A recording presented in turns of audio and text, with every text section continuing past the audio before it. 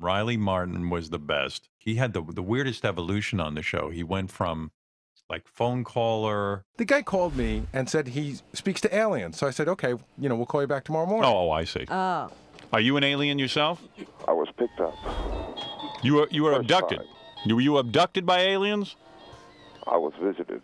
Then I had him on the show, This gentleman's name is Riley. Take a seat, Riley. and his look was great. And his whole rap, that voice, you know, you knew Howard, uh, I was captured by aliens when I was a young man. And Now, why do you think they came to you? Did you ever ask the aliens this? They rarely abduct people at random. They have a purpose. It would seem that I have a genetic trait that's a holdup from their first mixing with the Elohim or with man. I see. And they mated with humans. They first made it um, with the when they found that they could not get home nor clone themselves. Right. he's a true character. And I was actually fascinated not only by him, but by the people who hung out with him. He had a whole cadre of people who bought into the fact that he was somehow abducted by aliens. How did Riley uh, court you? Yeah. I mean, it's an amazing story. Actually, I pursued him. Did you were you a believer in what he had to say about him being uh, uh, taken away by space aliens? A lot of people don't believe. You know. You believe. You believe.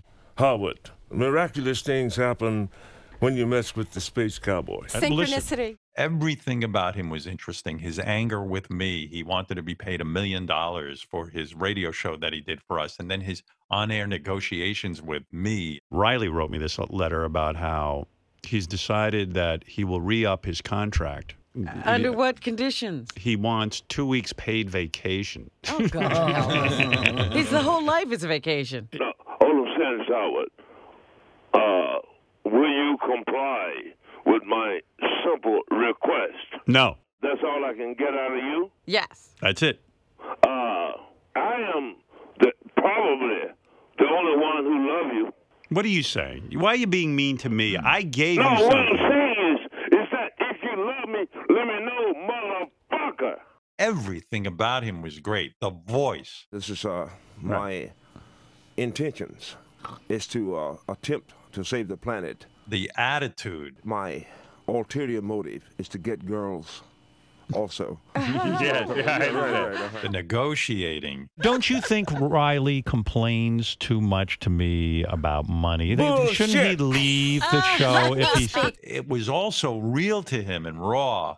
It's hard to believe he's gone. You know, we've had a lot of big celebrities on this show, but Riley Martin is still one of the most outstanding and remembered guests because he was real. He kept it real on the air, and that's what you look for on a radio show. Though I have sat on the forward deck of an X6 and warped through the hyperspace windows and came barrel rolling out into the brilliance of some primordial yesterday, Yes. I have not found anything in the cosmos that moves me like Earth women.